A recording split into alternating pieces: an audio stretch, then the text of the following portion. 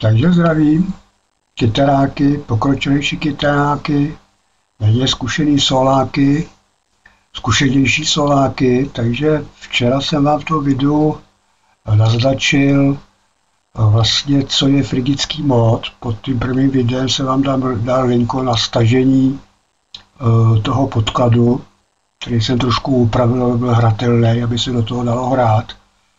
A ukázali jsme si tam, jak hrát třeba ty arpeggia nebo ty dvojhlasy. Znovu předesílám, už jsem to říkal v videu, a to je to, že vždycky, když se bude jednat o mod, tak ten mod patří k nějaký primární stupnici. To znamená, my tu máme FIS a primárně, primárně já se mi zařadit do d stupnice. Jo. Protože frigický mod je třetí stupeň neboli tercie toho D-duru, jo? To znamená D majoru. Jinak uh, fis, fis, mi je akord. Fis mol, aby jsme si to nepletli, fis mol stupnice patří do A-durové stupnice. Tohle to je frigický mód a v A-durové stupnici frigický mód by byl cis. Jo, tam jsou tři křížky. Takže my tady máme ten fismol. Vidíte, že hrajeme fis, gis a a, což teda patří do a druhé stupnice. A ten eh, frigický mód není gis, ale g. To znamená já já osobně rozlišuju vždycky první, první melodický tóny, v který, v který ty rodině melodický je. Jo. Ta melodie. To znamená primo, sekundu, celý tón, jo. Tady mám jakoby půltónovou sekundu, jo. A celý tón. Teď si musím spočítat to FIS, do čeho to zahradit, když tady mám vlastně půlton. FIS a G, která stupnice tady ten interval má. Takže podíváme se na G. Souhlasí. Takže tady máme FIS, G, A. No. Pak nám jde druhý interval nám jde H, cis a D. Když se na to podívám, jak to doprčíst, tak teď tu mám cis, a kdybych hrál celý G-dur,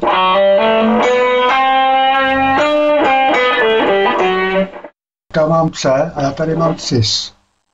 Co mi to říká? Mám tu fis a cis. Na dva křížky, takže je to D-durová stupnice. Proto to je mod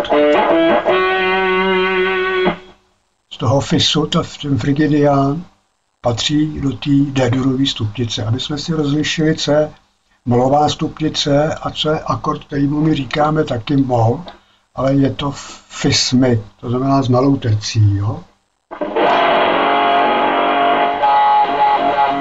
Já jsem si zase na pomoc klákadlo. Takže aby jsme si tak nějak rozlišili zase, co je melodická stupnice a co je harmonický akord. A včera jsem vám naznačil, jak to asi hrát, je to teda rychlý. E, podklad se vám dal pod to první video, to je ta jednička, ten Frigidian. Trošku jsem ho upravil, aby se dalo do toho hrát, protože ta původní verze v té MP3 nebyla moc dobrá. Přehlušila všechno, co jste do toho hráli. A takže jsem to upravil, máte to tam pod videem. A hrát a nehrát arpeggio. Řekl jsem vám, že vlastně akord arpeggio je základ a každý akord má dvě tercie. Na tom je postavený ten quid akord. A možná jste si včera všimli, že já jsem tam eh, vlastně ty arpeggia na ty dvě struny stavěl jakoby po tercích. Jo. Takže my máme tam to fit, jo, tam je ten, ten eh, podklad je.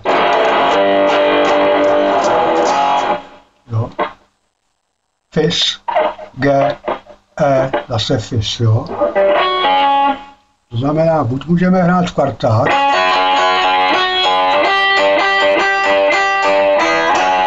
jo, protože tam je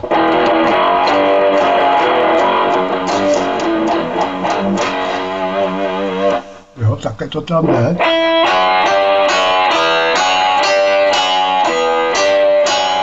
Můžeme hrát na ty dvě spodní struny, kvartetové čistý intervaly, nebo potom můžeme hrát.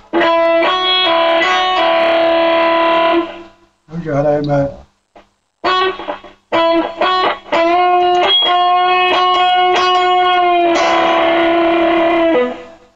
To znamená, my můžeme tady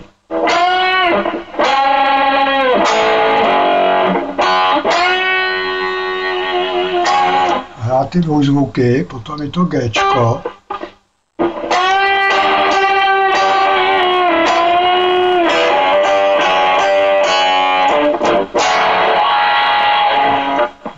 takže můžeme to takhle hrát.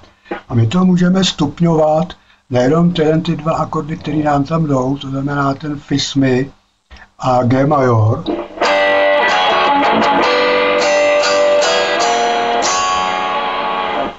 My to můžeme hrát i tady tím způsobem, kdy to máme normální arpeggio, uh, fis, fismy,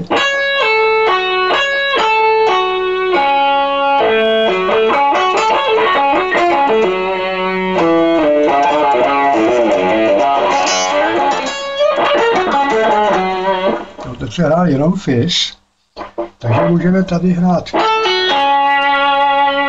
Pak jdeme na ten, teď hrajeme stoniky, teď půjdeme na terci, takže budeme hrát z toho druhého stupně, jak já říkám. Pak tady budeme hrát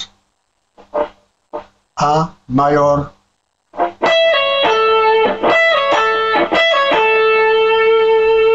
Můžeme tady hrát i zase v fismy, tady hraje takhle přes raz, dva, tři, čtyři, pět, přes šest polí.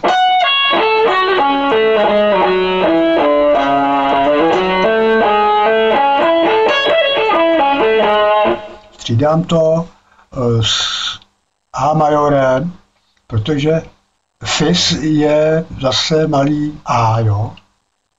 To znamená A molová, uh, Fismolová stupnice je přirozená, přirozená v Adorové stupnici, proto já ani můžu hrát tu terci, mají společnou zase terci. Já můžu hrát tercie. Ačko a Fis je společná s D majorem. No. Tady je rozdíl jenom půl tónu D a Fis, jinak máme. Jo. Tady zase máme Fis, Mi a A major. To já jsem tam včera hrál to arpeggio.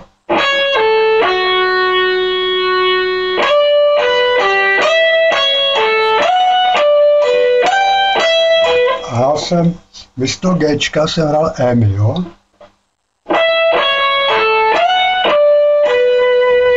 teda Emi hmy. Teď tady Emi, jo.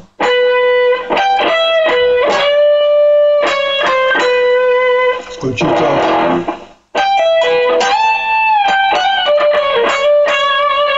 Skončíme v tom, tom E, v tom Ečkovým eh, akordu. Takže my to můžeme hrát.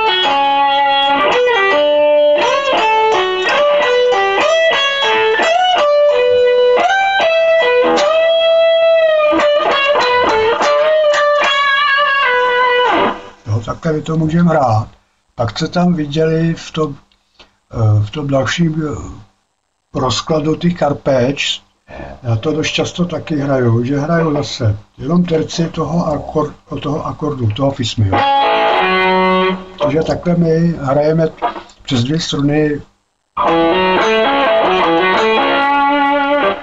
Hraju uh, vlastně rozložený akord toho fismy, pak jdu do toho Gčka.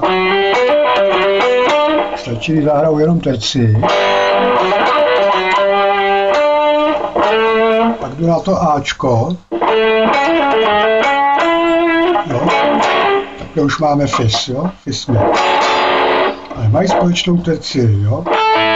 Takhle máme A major, přidáme tady to fis a už máme fismy. Jo. Sice e, do osnovy se to zapisuje trošku jinak, jo. Jo.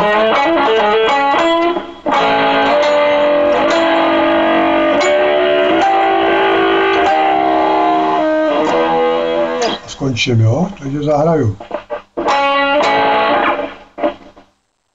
A durovou, A majorovou terci, hmy terci, tady mám Ečko a Cis, patří zase do A majoru, D a Fis, D major, pak mám G a H,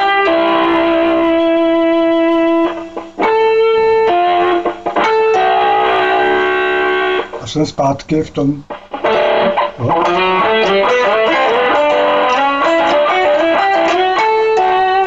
To jsem tam včera hrál, jo. A kdybych to chtěl zahrát ještě rychleji, tak nebudu hrát jenom ty terce, protože někdy třeba zahrou tři tercie.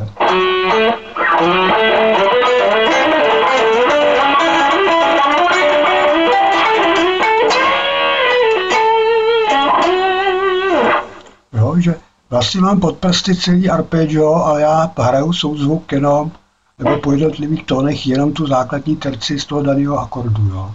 To samý podobný jsem to hrál tady.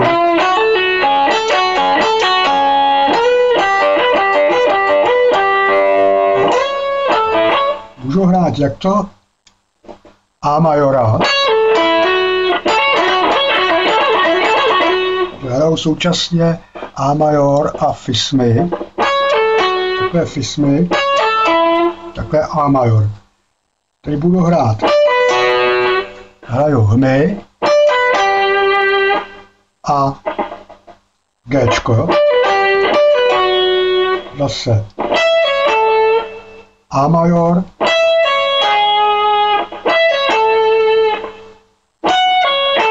Takhle máme Fis, takhle A major.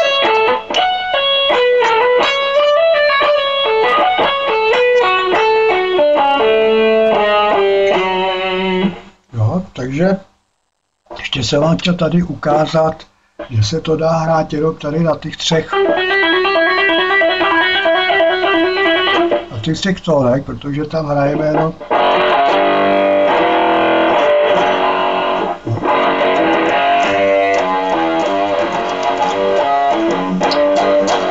Jo, takže to znamená, když si zvolíme tři tóny, tak se učíme frázovat. Jo, já vám to teď přivedu jenom tady na těch třech tónech.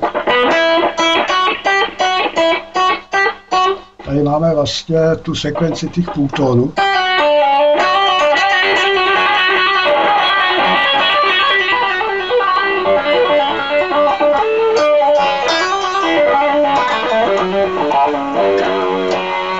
Jo, takže takhle to tam můžeme, ale já vám to ukážu tady jenom na těch třech. To znamená, že to můžeme hrát potom i tady vejš v oktávu.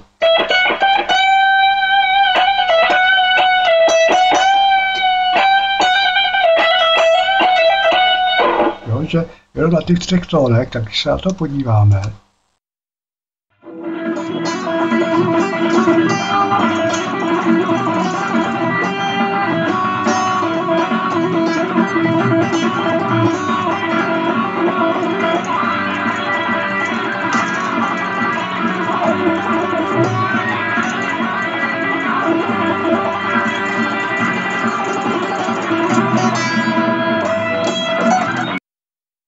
Tady teď se to teda synchronizuju.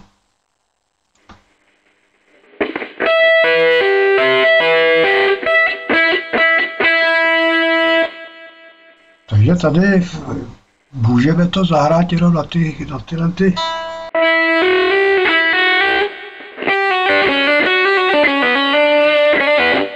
Tady máme ještě velkou výhodu, že ta D-durová stupice nám koresponduje se všema stronama, které jsou tady na prázdno. Jo? Takže my můžeme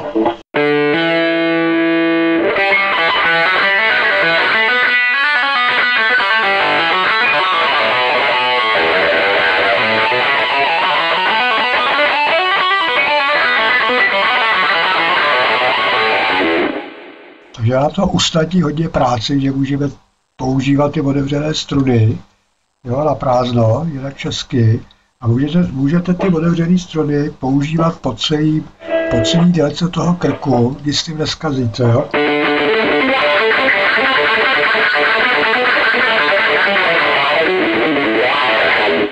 Můžete, jo, prostě na prázdno.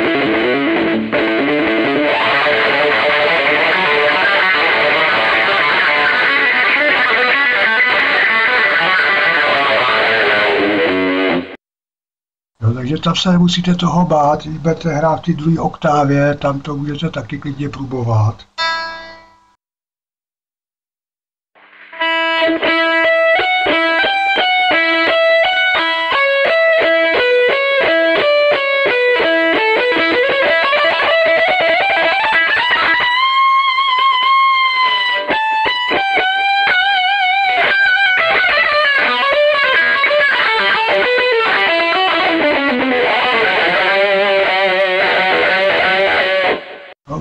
Klidně používat i na prázdno.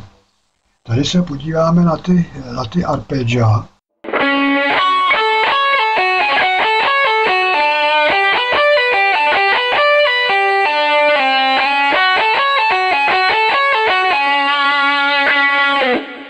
Myslím si, že už jsem o tam hrál. To jsou vlastně to FIS,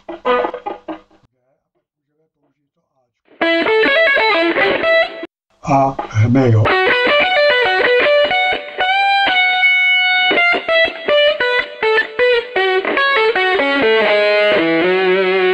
No, takže se podíváme na ty arpeggia.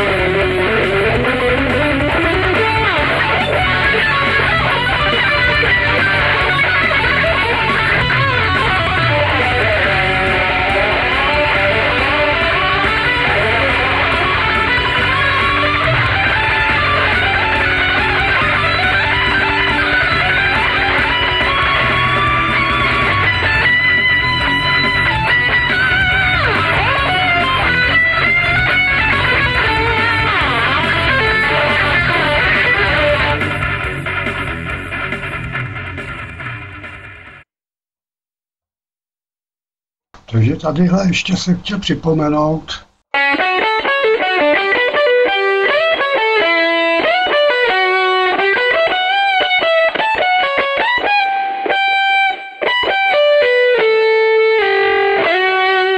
Jo, připomenout, že ještě tam můžeme zabudovat jednu stupici, jednu, jeden mol, a to je harmonické. Já ho tam, myslím, jsem hrál nebo nehrál. Myslím, ta, ta harmonická je, vlastně začínáme s fis.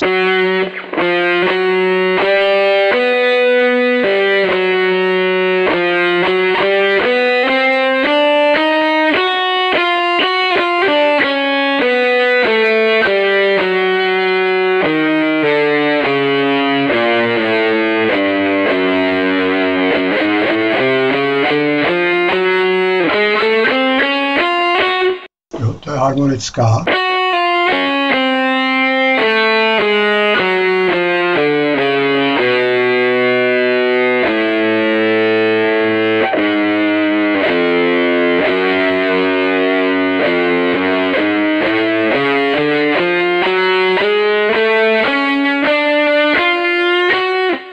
harmonický bol a ten tam můžeme taky v pohodě využít.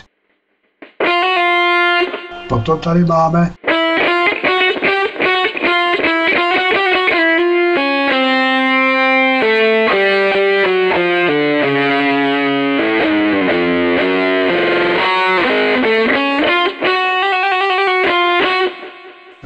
tady máme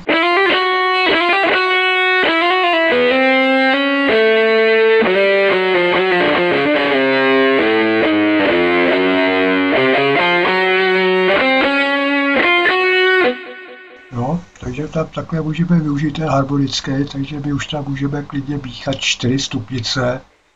Jo, to jsou vlastně tři bůzový. Primární máme D durovou a ještě si tam zahrajeme fismolovou harmonickou, jo, takže to máme přebernou škálu tónů, který tam, nebo variacích, s kterými tam můžeme e, pěkně operovat, jo, a dotvářet tu skladbu.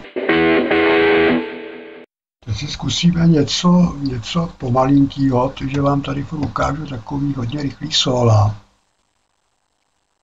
Budu se snažit to dohrát nějak pomalu, protože já to improvizuju a když vidí, že ten tak mi nějak utíká, tak já se ho snažím dohonit a pak mi tam vznikne takový prostě hardrockový, hardrockový arpeggio, arpeggiový solo, rychlý s laufami, jo. takže to nějak zkusím pomalinku.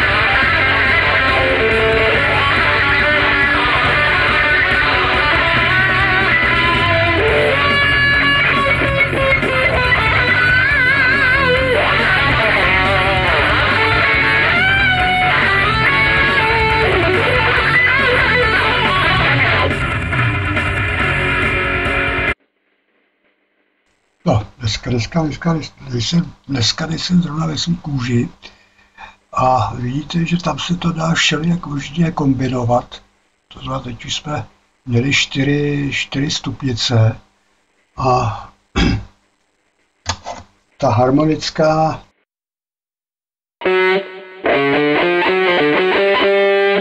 Takže když ji tady vezmeme a máme vlastně v křížku máme ten fis, jo. Tohle to je přirozeně z té frigický. Tady už máme přidaný z té harmonický, jo. takže si to ukážeme.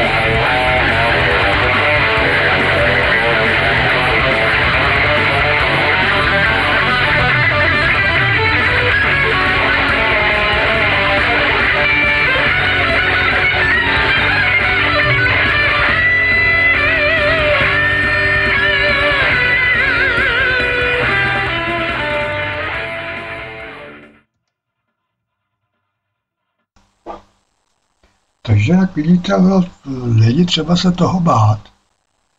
Prostě tu kytaru nějak vždycky, když člověk veme do ruky a chce do něčeho improvizovat, tak si nejdřív odvodit tu primární stupnici, na kterým stupně začínáme, to jsou ty módy, a vždycky určujeme zahušťování ty primární stupnice eh, danými bluesovými. To jsou ty základní tři, pak tam můžeme přiřadit ještě bluesový molový, jako jsem to teď udělal, že jsem tam ještě přiřadil jednu, a to byla harmonická, jo, kterou teď jsem, v ty poslední improvizaci se snažil tam nějak zahustit ten mod s těma bluesový a stupnicema, jo, takže de facto tam mastíte chromatiku, ale musíte nějak vnímat, eh, vnímat sled těch akordů, abyste tam intonovali. Jo. Takže to je asi tak všechno, co jsem chtěl ještě dodat k tomu prvnímu dílu, jak jsem řekl, pod videem máte pod tím prvním, do toho videa to dám taky, budete mít možnost si stáhnout ten doprovod a vyzkoušet si ten Frigidian,